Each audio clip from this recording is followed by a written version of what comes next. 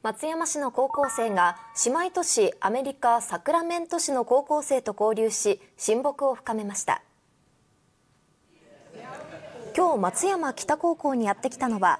松山市の姉妹都市アメリカ・サクラメント市にあるロズモント高校の生徒10人です。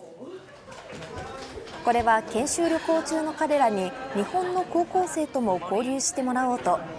サクラメント松山姉妹都市協会協力のもと実現したものです。生徒たちは2年生の英語の授業に参加。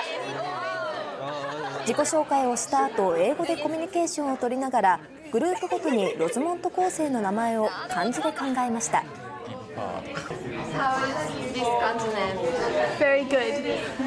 Why did you choose this? Uh, because uh, this means teacher and this means dream, and I want to be a teacher.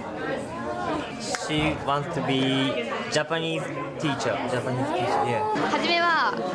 相手の子も緊張してたんですけど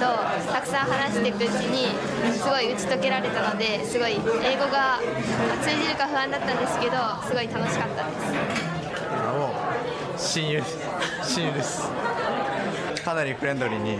そのステファニーもその他のみんなも喋ってくれたんでなんかその海外に対する関心というかそういうのがもっと高まったし日本の魅力もついでにしてもらえたのでとてもいい機会になったと思います Students are very kind. 面白い different from America, but uh, very interesting, very fun. ロズモント高生たちは北高生の家にホームステイもしていて明日はグループ対抗のスポーツ大会で交流します。